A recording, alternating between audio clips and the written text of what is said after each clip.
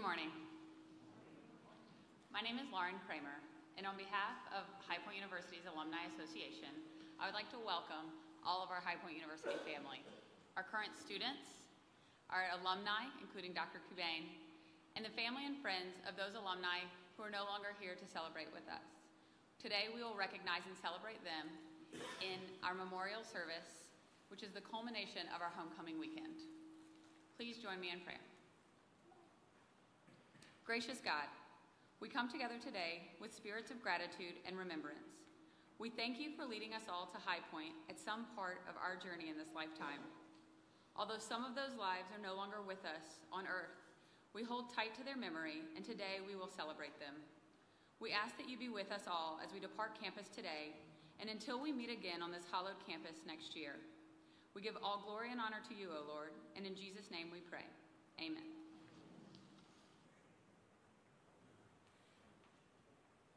Kate in the pew, one of the blue hymnals, and turn to hymn number 577, God of Grace and God of Glory. I invite you to stand as we sing.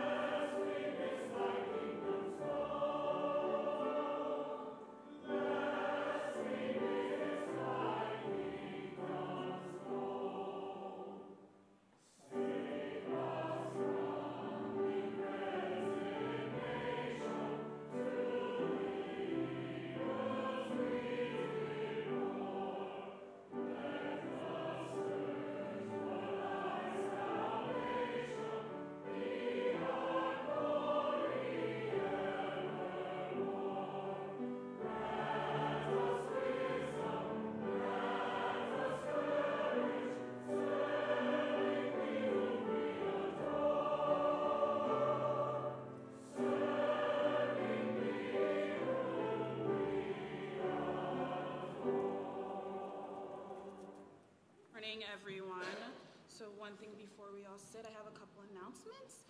First, I would like to talk about our offering.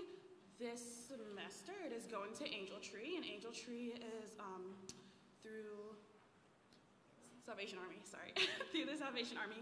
We partner with them so that we can provide um, Christmas gifts for kids who aren't um, able to get them.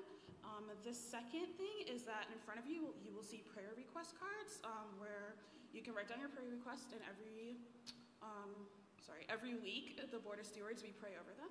So at this moment, I'd like to invite you to pass the peace, say hi to somebody, tell them they look beautiful, share some love.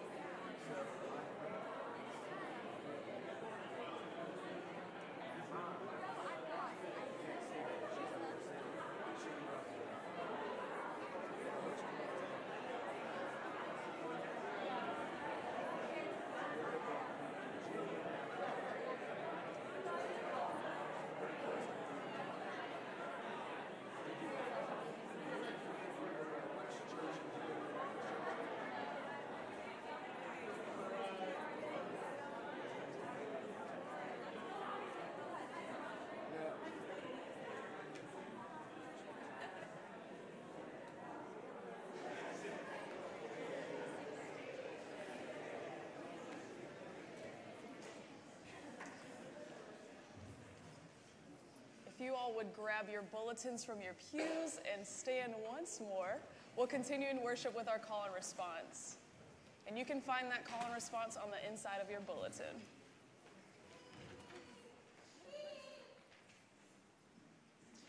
God, who is behind us, before us, and with us, we give thanks for this moment of praise. We give thanks for familiar faces and places that have made us who we are.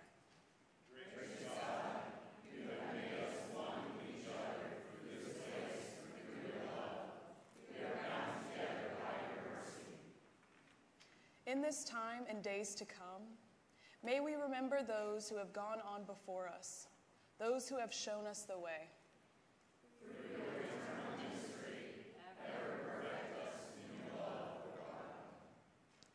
Renew us in this time, gracious God.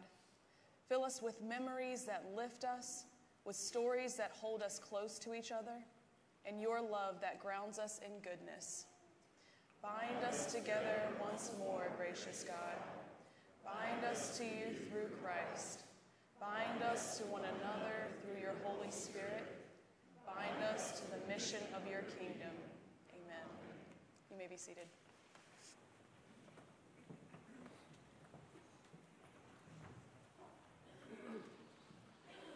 Good morning. In just a minute, we will hear the names of those whom we love who departed us in the last year. In a few minutes, I'll also ask you to follow the liturgy that's in your program. But for right now, I'd ask for you to join me in prayer. Gracious God, it's good to be home. We thank you today for High Point University, a sacred place where each of us has experienced you in some way. We thank you this morning for the vision and the determination of the dreamers, the founders, and the creators of this institution. An institution that was made to honor you and to prepare men and women to follow your will, their dreams, and their commitment to serve. We thank you for the leaders of this place and ask that you give them the strength, the courage, and the vision to deliver and to continue to seek your will. We thank you for the students and families, the faculty and staff, and certainly the graduates, all who have aimed to serve you and glorified your name.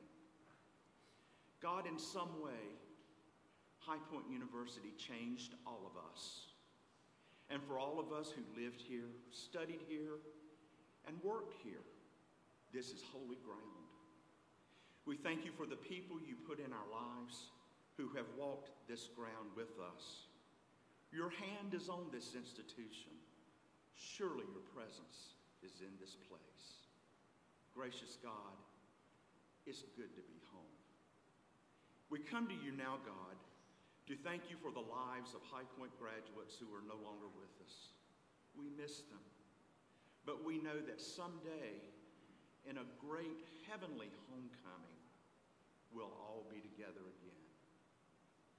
And now I ask you to follow in the bulletin our responsive prayer. Almighty God, we give you thanks for these, your servants, whom we remember today. Grant us grace to follow them as they followed Christ. Bring us with them to those things no eye has seen no ear heard, which you have prepared for those who love you. Gracious God, give us faith to look beyond the present age. Give us eyes to see that we are surrounded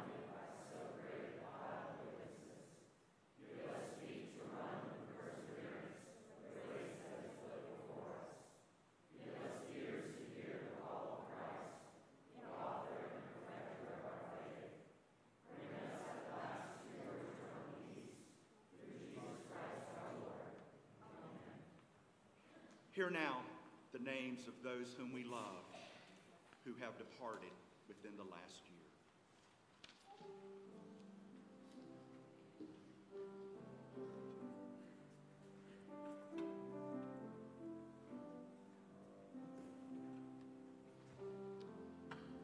From the 1930s, Francis L. Reynolds.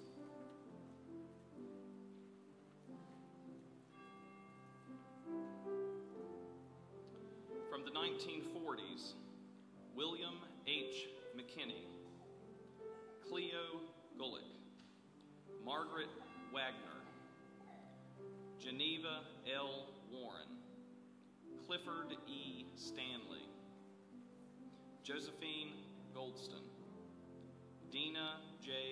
Marple, Nan V. Hartman, Clarence C. Keever Sr., Alice C. Hobbs, Dr. P. Talmadge Lancaster, Anna M. Clark, Betty J. Elizabeth Myers, Arthur B. Williams III, Vista J. Faust, Gurney L. Stroud Jr., David N.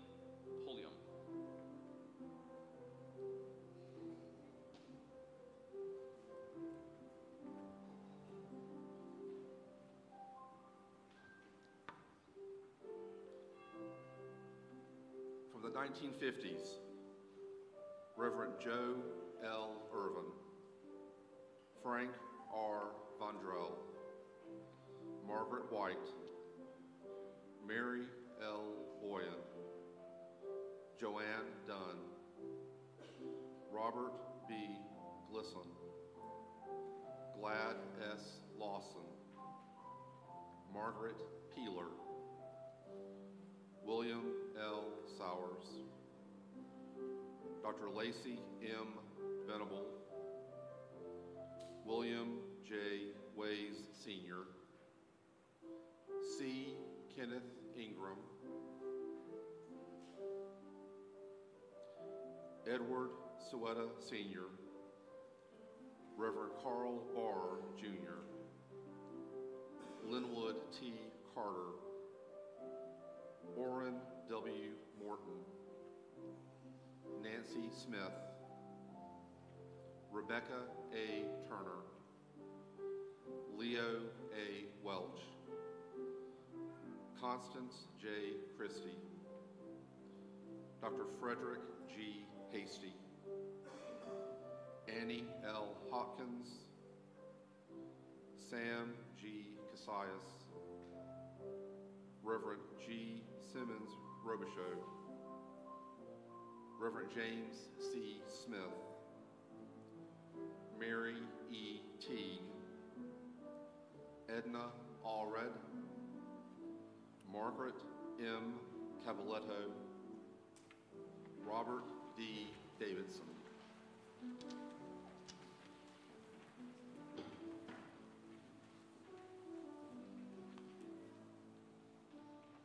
Continuing the 1950s,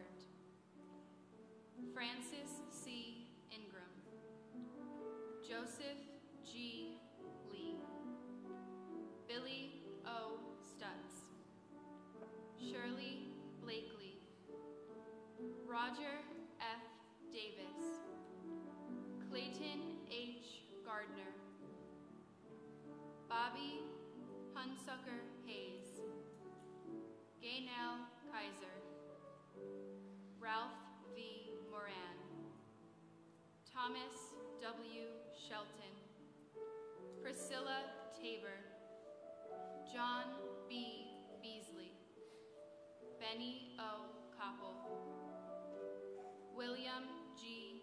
Craig, Robert L. Foster, H. Howard Holbrook Jr., Reverend James E. Smith, Reverend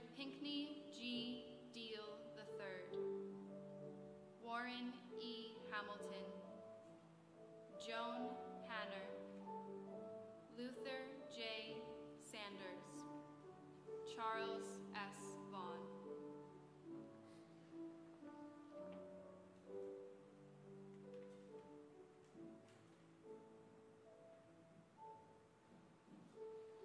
From the 1960s, Reverend Corbin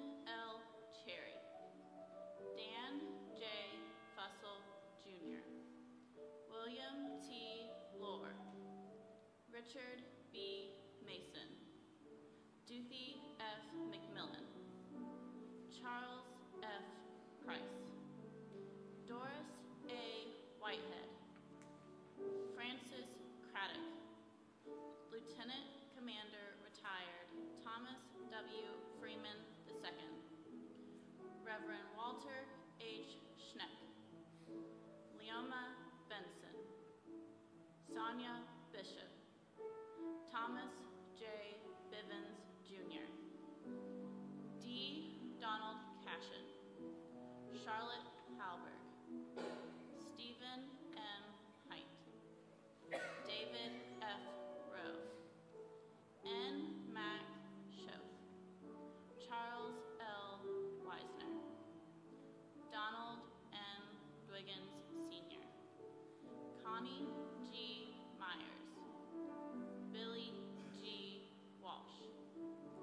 Frederick A.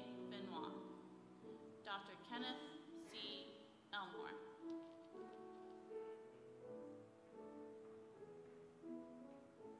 Continuing the 1960s, Clyde E. Henderson, Marilyn Pointer, Albert W. Roush, Norma S.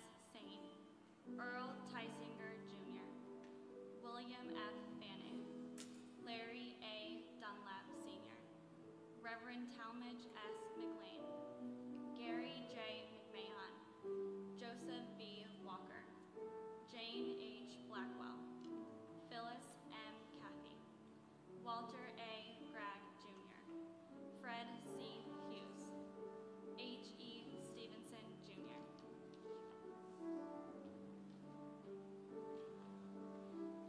From the 1970s, Donald L. Davis, Barry J. Hall, Linda Church, Reverend Benjamin D. Killian, Judy Simmons, Donald L. Tu, Karen Pledger,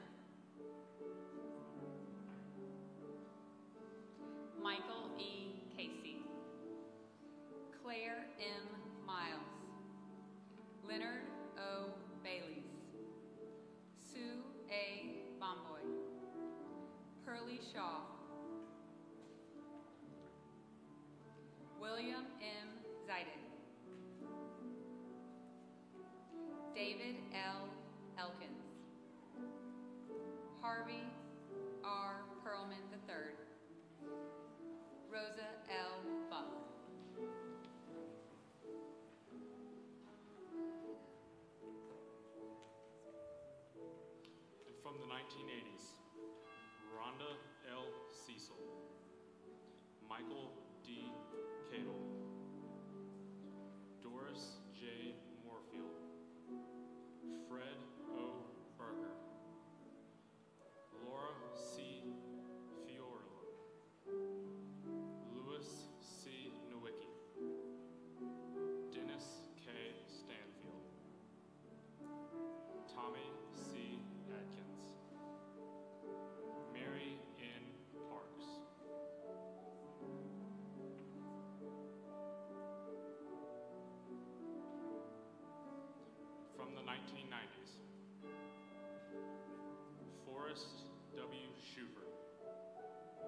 Chad E. Barker, Robert M.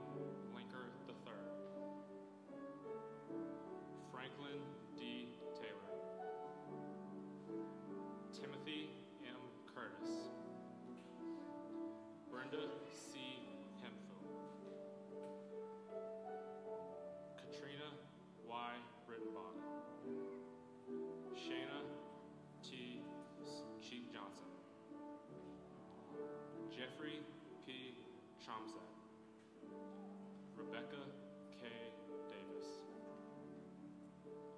Terry B. Elliott,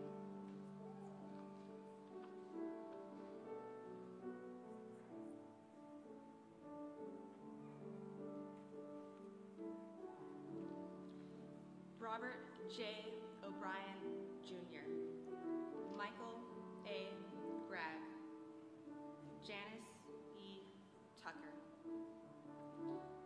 From the 2000s,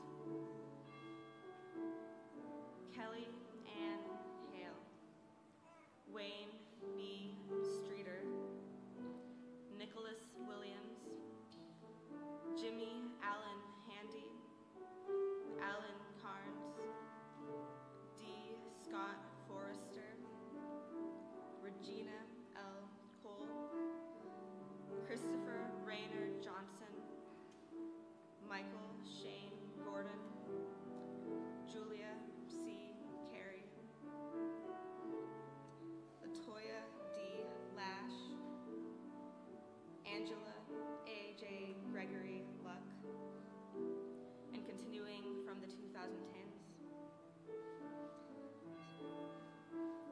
Sierra N. Cahoon, Angelo D. Johnson, Lucille B. Jackson, Rachel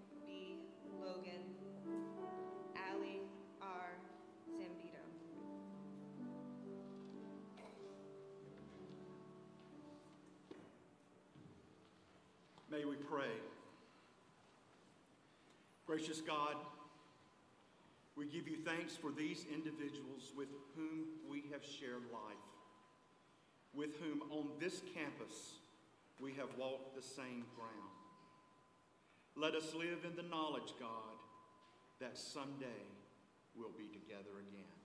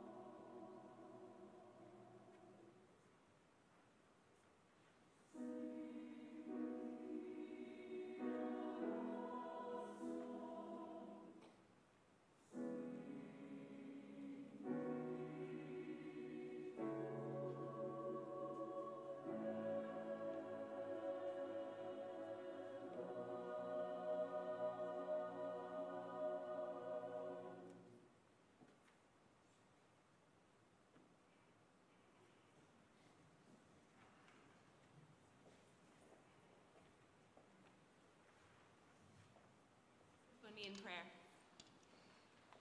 Heavenly Father, thank you so much for this community that spans many, many decades. And thank you for this chapel here that has been a place where people can come and worship you together. I thank you for the lives that we remember today and for their families and their contributions both on this campus and around the world. And God, I thank you for empowering each one of us to carry your message and your grace and your amazing ministry out into the world and into this community. Thank you for everyone gathered here today, and thank you for the celebration of the alumni. And I pray all of this in your name. And now may you join me for the Lord's Prayer, praying, Our Father.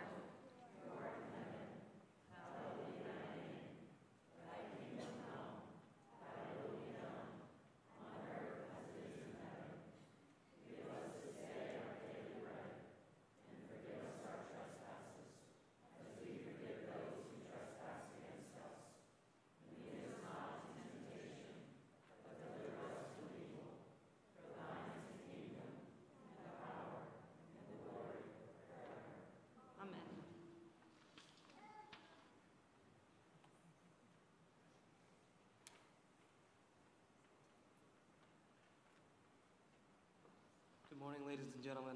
My name is Jason Statham, and I am a sophomore on the Board of Stewards. And I will be reading the scripture this morning uh, coming from Matthew chapter 5, verses 21 through 26. You have not heard, you have heard that it was said to be those of ancient times, You shall not murder, and, and whoever murders shall be liable to judgment. But I say to you that if you are angry with a brother or sister, you will be liable to judgment. And if you insult a brother or sister, you will be liable to the council. And if you say, You fool, you will be liable to the hell of fire. So when you are offering your gift at the altar, if you remember that your brother or sister has something against you, leave your gifts there before the altar and give. First be reconciled to your brother or sister, and then come and offer your gift. Come to terms quickly while your accuser with your accuser while you are on the way to court with him. Or your accuser may hand you over to the judge, and the judge to the guard, and you will be thrown into prison. Truly I tell you, you will never get out until you have paid the last penny. Is the word of the Lord.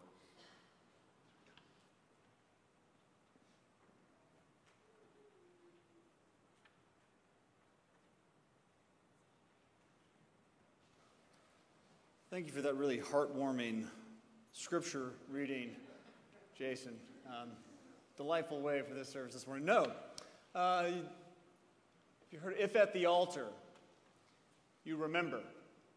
If at the altar, you remember your neighbor. If at the altar, you remember your brother and sister. That's what we're doing. Uh, if at the altar, you remember. Something about altars, right? Uh, they make you remember. Something about altars, that thin place between you and God where it's like, oh man, I thought that was gone, but no, and now it's rushing back to me. And what do we do? 10 decades here of HPU graduates, alumni, friends, family, people we've shared life with, right? No, if at the altar you remember, uh, you remember them, and you know you're remembered through them. It's amazing. It's amazing how much we share life together.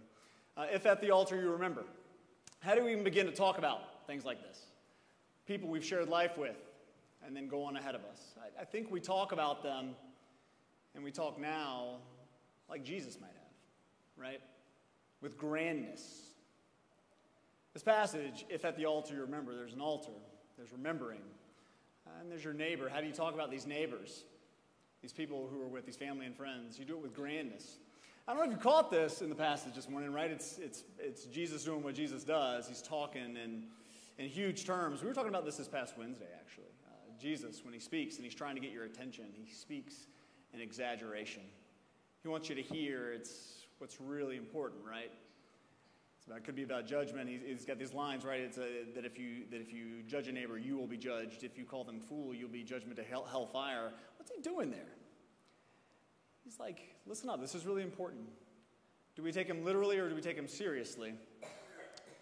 If we took him literally, I think there'd be a lot of us Christians missing one eye and one hand. If you follow me? No, he's saying you take him seriously. You listen to what's really grand here. And it's about our lives that are a part of one another and how much we belong to one another. Students are sick of hearing it, I know, but I'm going to keep saying it this year on and on again. And so that if we do not have peace, it's we've forgotten we belong to one another. Those 10 candles, right? Our lives right next to us right now, we belong to one another. How do you even begin to talk about such deep intimacy and how much we mean to one another? You got to use grand terms. It's like your own mom, right? Your mom is the best mom in the entire world. No one's better than your mother. How do you talk about someone you've shared life with? They're the best person in the entire world. You talk about them with such grandness. It's what it means. Take this seriously. We talk about these lives that we've had together. They mean so much to one another. If at the altar you remember.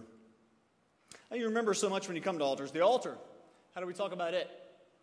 Talk about it the way Jesus would, right? Like at the altar. It's the oldest piece of furniture in the world. God creates the world and then puts an altar on it. It's a place where you and God run into each other again and again and again. An altar. I think about all these names that we read this morning, and I think about having been a pastor and spending time with people uh, at the end of their lives, and that's an altar. At that place between worlds, right, between this one and the next, it's an altar. And you get that time with people, and sometimes you get some regret, and sometimes you get some deep gratitude that you don't run into at any other place in life. That's an altar. You remember there. You remember what's most important. I think about some of you alumni when you come back to this campus. It's like an altar in some ways. You come back from this campus and it's this thin place. All these memories come rushing back, don't they? It's the things that are most important. They come back into your periphery and then right in front of your face. It's an altar. It's a thin place between you and God and those you share life with. Here's the thing, though, about church. Like, it's taken to a different degree. I think of this altar. I think of the number of things we do at this table. I think about breaking bread and having communion at this table. I think about the number of things that happen in this space. it's more than just a rushing back of memories. It's, it's almost a, it's a dangerous place. Like altars make you remember. Altars make you remember who you're supposed to be. Like you thought something was, was buried.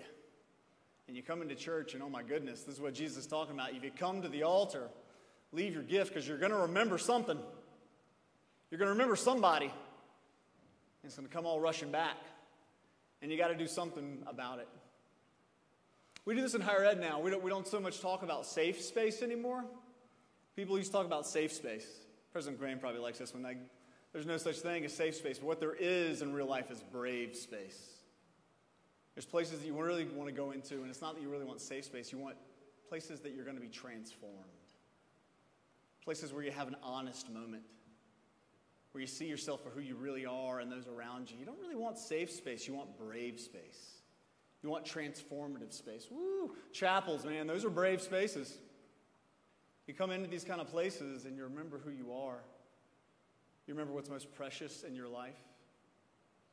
What's that old cliche that it's well worn but it wears well? That altars, they alter people? You come into these kind of places and your whole life's right before you.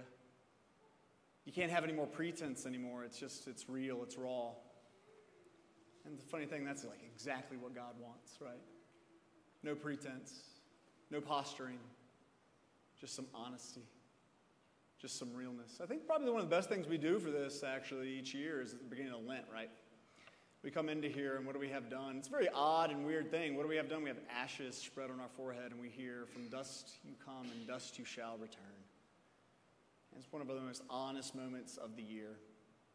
My favorite photo from last year, the entire year, it's a picture of Reverend Andrea Williamson spreading ashes on President Nido Qubein's forehead, forehead in here last year. One of the most beautiful moments all year long. All of us who come forward and we have ashes spread on our forehead and remember who we are, that we are fragile, fragile people. We are all dust, and yet we are precious in the sight of God. It's a moment of realness. We belong to one another. You may remember one of the first altars in history, right? It's Exodus 3. Moses, he's coming into the wilderness and he hears, Moses, Moses, take off your shoes, for you are on holy ground. And he says, Okay. What do, you, what do you want with me, God? He says, Well, I've heard my people's cry in Egypt. And you're supposed to go and call them and bring them out. And you know, there's this moment of rawness and realness, right, that we have often if God calls our name. We go, No, no, no, no, I, I, I, don't, speak, I don't speak so well, Moses says. And God says, Well, I'll be with you. And then Moses says, Okay. So I'm going to go back to Egypt and I'm going to go liberate these people. Who, who, who, should, I, who should I say is, is sending me? And God says, I am that I am. The God who has always been and always will be and who simply is. What is it saying? It says, God, we meet in the very isness of our life when we simply are. No posturing, no pretense, no nothing. Just a moment of honesty with us and God. When you come to the altar, you can't help but remember because they make you do so. so they make you do so. They're transformative things. They're dangerous things. Tu sei te rayon means altar. Altar, place where we meet ourselves clearly and we see each other well. Altars. They change things. They transform us. Think about this weekend, right? Altars make you remember. They bring back some memory. It cause you to remember some of your favorite things in life and some of the best things in life.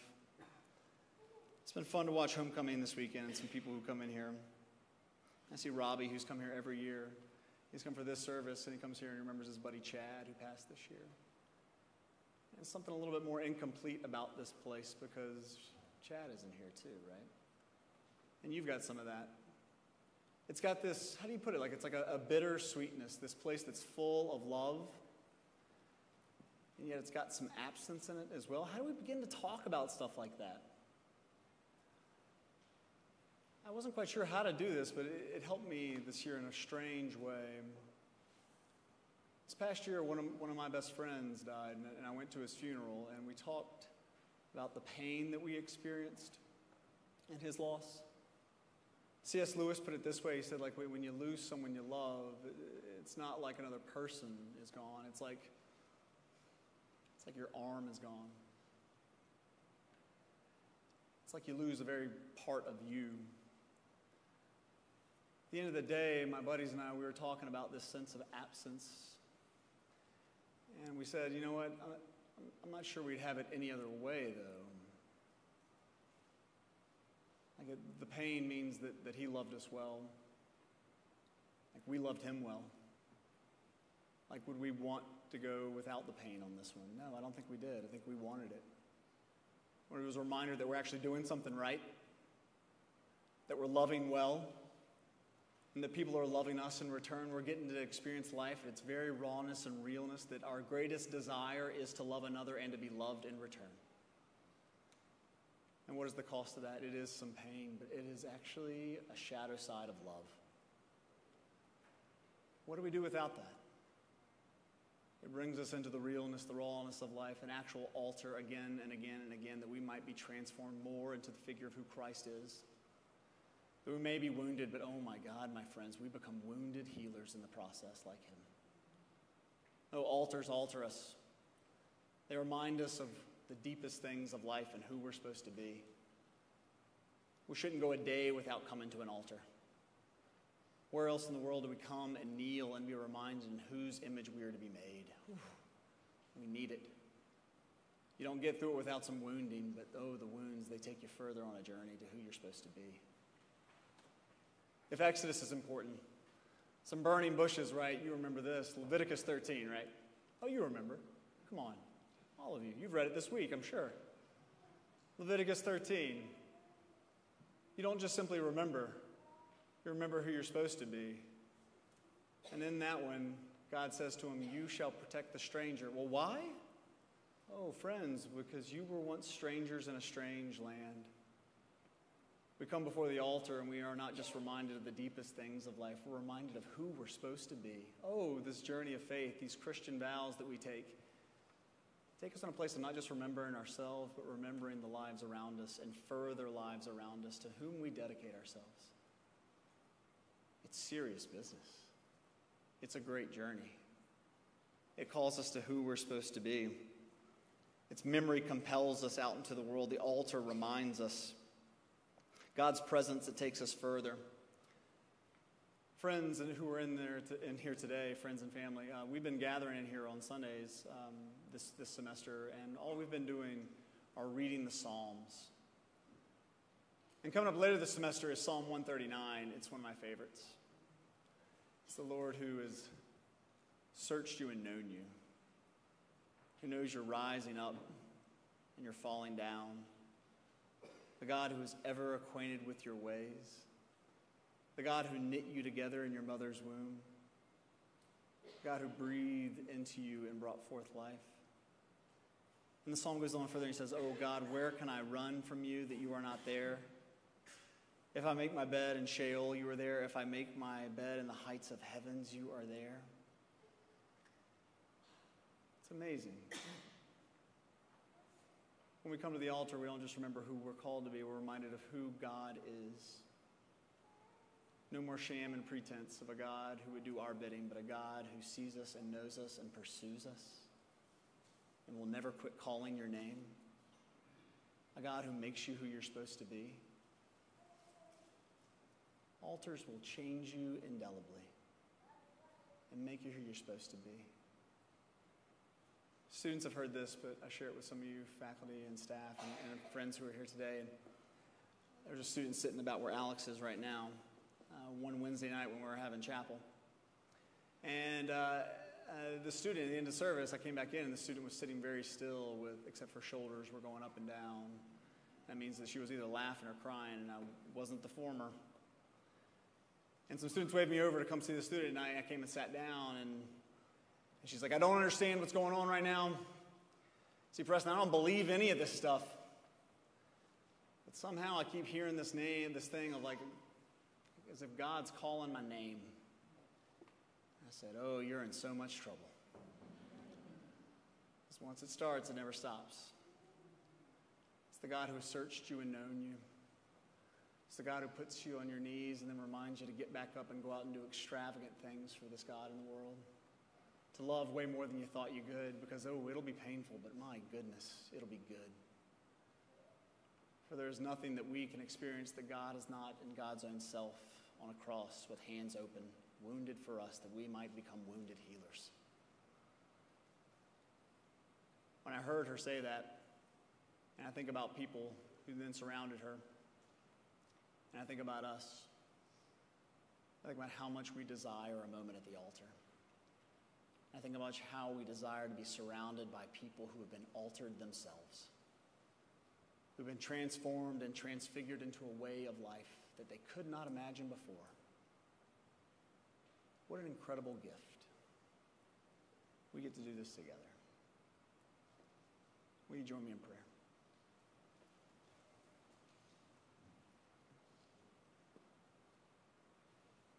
Gracious God, we come to this chapel and it's an altar. It's a thin place between you and us. It's a moment of rawness and realness, and it's precious. For you see us, and then because you see us, we see better. We see better about what our lives are and what they can be. For at the altar, we are remembered in the right way. We are put back together. We come home to ourselves and we come home to one another. For we remember who you call us to be people of deep, incredible, abiding love, for we are reshaped and remade in your image. We are altered by your very presence in our lives. May it be so now and evermore. Amen.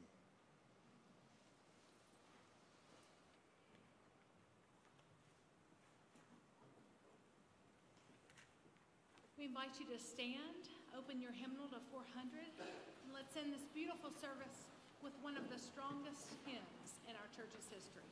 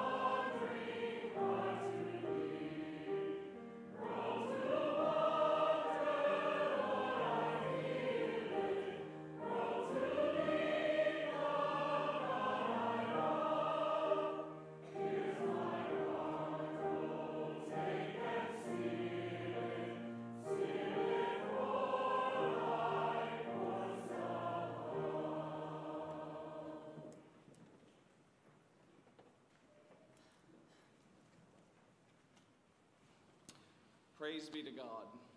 Thank you all so much for joining us here on this campus here at High Point University to celebrate the memories and the connections that each and every one of us have to one another, to this place that we call home. It is a homecoming because it's an opportunity for us to, you know, really reflect and remember, to recognize those memories and those connections that we have when we leave this place, whether that be the moment we walked across that stage or today as we go back our separate ways around the globe. That we take those memories and that spirit and who we are at High Point College or High Point University with us forever and for far beyond. I thank you for coming. I know and I, I bid my uh, greatest full heart today for you all to come back, to be great advocates for our university, and please stay connected to us. We want to continue to see this institution be blessed by God and see what it has in store for us. So thank you.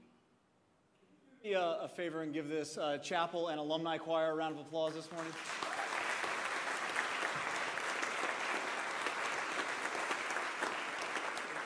You understand, some of them, this is waking up really early in the morning to help you worship this morning. Now, may you remember this that the Lord is for us, then who can be against us? For there's nothing, nor life, nor death, nor anything in between that can separate us from the love of Christ Jesus. Those that we have loved are in God's eternal care, and so are we now. They are new creations in Christ, and so are you in this very moment. In the name of the Father, the Son, and the Holy Spirit. Amen.